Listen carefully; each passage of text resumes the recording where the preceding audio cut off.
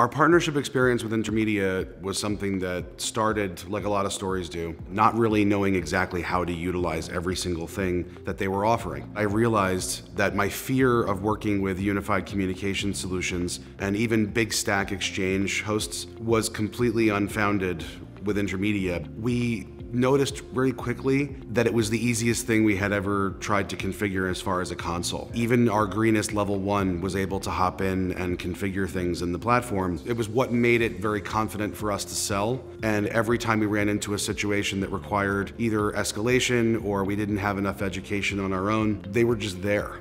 I joined Overview on January 1st, 2018. When I joined, one of the first orders of business for me was kind of vetting and auditing all the different vendor partnerships that we had. And when I found out what we were doing for telecommunications, it wasn't unified at all. So for us, if they have an offering that is so far and away better than what we're currently offering our clients, let's take a long look at it. And I realized how easy it was to make this something that our clients began to look at us as the single source of truth for all their technology needs Intermedia really connected the final few dots that there were left for us.